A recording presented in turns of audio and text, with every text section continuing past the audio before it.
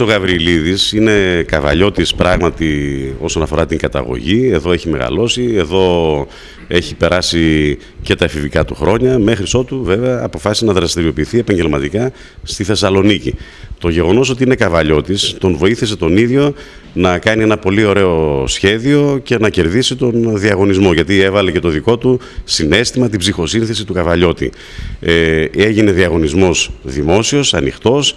Ε, υποβλήθηκαν αρκετά σχέδια από όλη την Ελλάδα.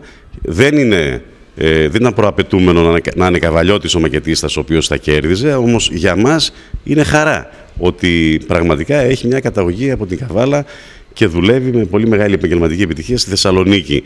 Ε, στην ουσία αυτό το οποίο μας έκανε ήταν ένα δώρο προς την ε, γενέτειρα, πατρίδα του, την πόλη, τη γενέθλια, ε, σε όλους εμάς.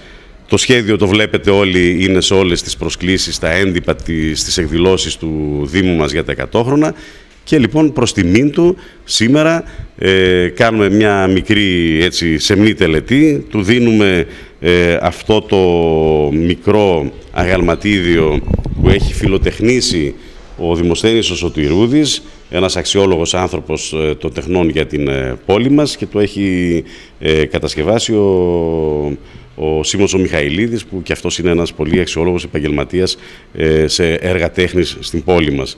Λοιπόν, είναι πράγματα που πρέπει να τα θυμόμαστε για πάντα και γι' αυτό το λόγο με ιδιαίτερη τιμή δίνω τα συγχαρητήριά μου στο Γιάννη. Ευχαριστώ πάρα πολύ. Ευχαριστώ.